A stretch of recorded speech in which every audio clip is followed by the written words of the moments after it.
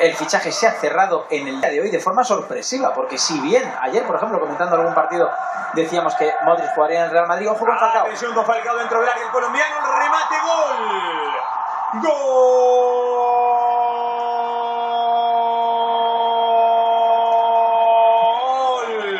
de Atlético de Madrid. Y esto sí que no es sorpresa para nadie. Cuando Atlético enfrenta al equipo de Bilbao, siempre aparece el colombiano Radamel Falcao García. Pisó el área, se perfiló, pierna derecha, el balón al fondo de las redes. Gana Atlético 1 a 0. El gol, cuando no, de Falcao. Los zagueros del Athletic de Bilbao tienen pesadillas con este hombre. Es la auténtica bestia negra. Era saque de banda, por tanto no era fuera de juego, a pesar de que estaba más adelantado. Muy mal la defensa del Athletic. Y qué bien la levanta, por favor, por encima de Iraizoz, portero que ocupa mucho lugar. ¿eh? No es nada fácil. Sí es cierto que se vence,